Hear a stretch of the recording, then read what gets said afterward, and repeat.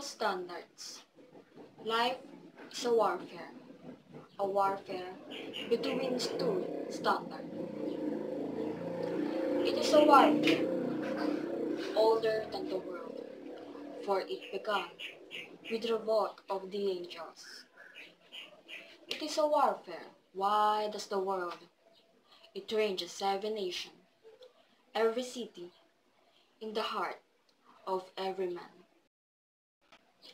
Satan desires all men to come under his standard. At this end, lures them with riches, honors, powers, all that ministers to the lust and pride of man. Christ, on the contrary, invites all to fight under his standard.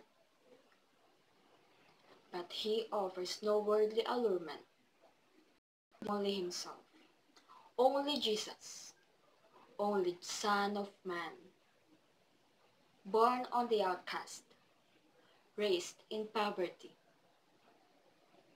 betrayed by his friends, rejected as a teacher, crucified as a criminal. And therefore his followers must be ready to suffer what he suffered. Poverty, persecution, trial, at times even death. But Jesus, the Son of Man, is also Jesus, the Son of God, and therefore his followers shall not be confounded forever. They are certain to ultimate victory. Against them, the gates of hell cannot prevail.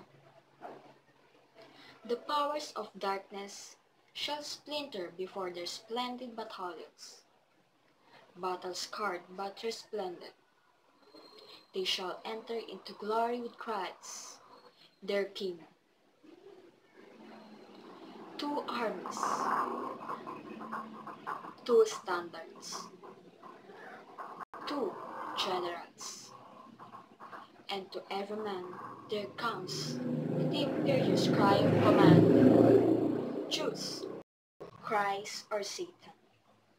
Choose sanctity or sin. Choose heaven or hell. And in the choice he makes is summed up the life of every man. Father Horacio de la Costa Estre